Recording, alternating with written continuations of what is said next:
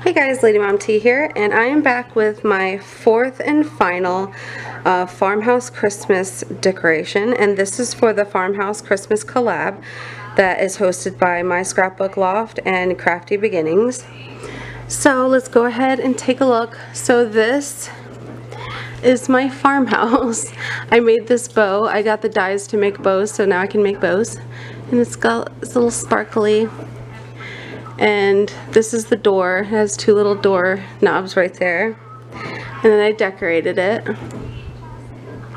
And then you open the door and you're in the house. Isn't that freaking cute?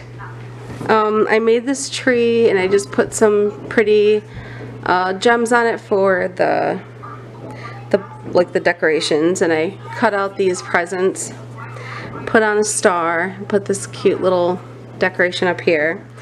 Then I made this fireplace and I put one of these embellishments on it, you know, to make it look like a stocking tongue. And then I used um, baker's twine to decorate the top and I just put some gems there. This is a circle punch with some stickers on it, very vintagey looking.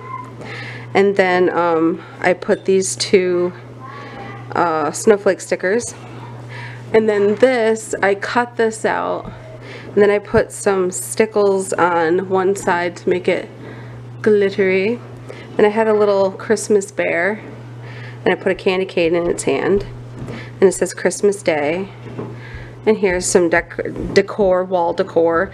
Just this home is my favorite place to be. And then I have a little mistletoe that says kiss me and the back just says Merry Christmas on the back. I used um, this regular paper and I put it on the cardstock to make it look like it was all made out of wood.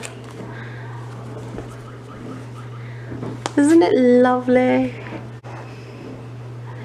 I did not follow anything to make this. I kind of just sat down, worked it out in my head, um, got the shape the way I wanted it, made it, you know, got these doors to be what I wanted them to be. Um, the cardstock that I used in the back of the inside of the house is from Home Again paper pad because it's very farmhousey. Um, yeah, this was so much fun to make. This was my, this has been such a great collab. I had a lot of fun making stuff. Um, some of the things like my tag and my pocket letter, those were regular schmegular. But this is a first for me and so was the, um, the, the big shaker that I made. So I really hope you guys enjoyed enjoyed this collab and please check out the links in the description and check out everybody else's. And here's a closer look.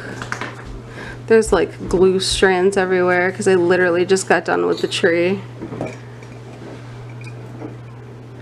The fireplace.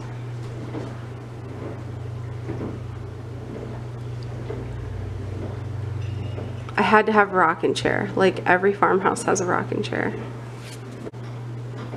This was just so much fun.